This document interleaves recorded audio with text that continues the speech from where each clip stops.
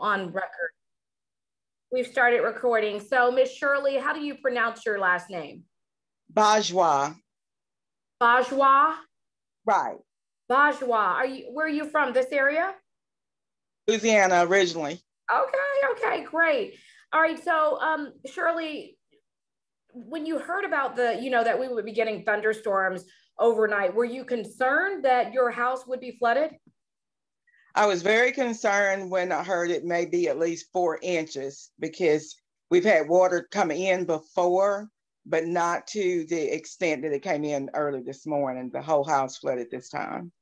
Wow. And so walk me through everything. When you woke up this morning, what did you see? Well, actually, my brother knocked on the door and told me, says, uh, sis, the house is flooding. So when I got up, uh, then there was water in my room, which, like I said, was unusual. That hadn't happened before. And I went to the hallway, there was water there. And uh, we went to the back room and it was just coming in through there. Um, and then also I tried to open the back door and it just rushed in. I had to close the, you know, back door back up and um, the whole house flooded. Have you ever had the home flood or get a little bit of water in before, or this this is the first time? It got a little water in before that would come in the back room, uh, but this is the first time that the whole house flooded. And we do have sandbags, but the sandbags didn't help this time. So, do you have, uh, you know, flood insurance or any type of insurance that will kind of help offset some of this damage costs? Well, actually, the home is uh, rent to own, and um, the people that um, we're written to own from, uh, they have sent people out to um, help clean up and um, they have blowers out. And um, so we do have water that's coming in again in the back room. So, uh, but they're here, they are helping. So that's a blessing in itself. So, what are your thoughts as the water continues to rush in now that the rain is picking back up? Uh, it's time to move. I was telling my brothers, it's time to move. We can't, um, we can't live like this. Um, I, you know, had to miss work today and, um, you know, to try to get things cleaned up. So, but it, it's time to go. Um, so then just, you know, have to find somewhere to live. So, how long have you lived there? I've been here two years. Okay. So, it's a nice community and a nice house, but it's just yeah. I think what caught our attention this morning, Shirley, is that you're trying to sweep all of that water out of your home. And uh, it's just like you're, it's a never ending battle because it's trying to sweep water out of your entire house.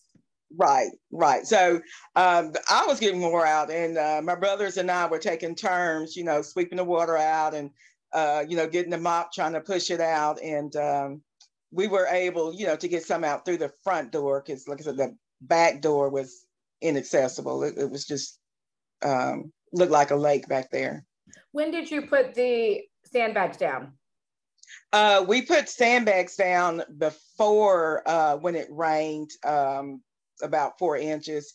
That was probably about uh, a year ago. Okay, so and they've we, been they've just been back there in case you've needed right. them. Right. Okay. Uh, can you detail some of the damage caused? Did anything get ruined or destroyed? Well, the um, the floors are buckled up. Um, my furniture got wet, um, and the stuff that I had stored in the back room, you know, you know, got wet also. But um, all of that's replaceable. Um, but I'm just looking forward to getting out of here and getting a house that doesn't flood. Right. Anything else you want to tell us or add um, that we haven't gone over? Um, I would like to thank you all you know, for your concern and um, the concern of the community. My uh, my boss, my coworkers, I mean, they've called checking on me. My um, boss also, you know, offered to have her husband come help. I have a, uh, about to get emotional, a great work group. They're like my second family. And uh, I, I'm just so grateful and so thankful you're getting emotional because they came out to help or they just understand? They understand. It's just, you know, some people that you work with, they're just co-workers, but we're actually a family. So when something, you know, happens to one, we pull together and try to help, you know, and it's just them being there for me and offering to do whatever they can. It just means the world to me.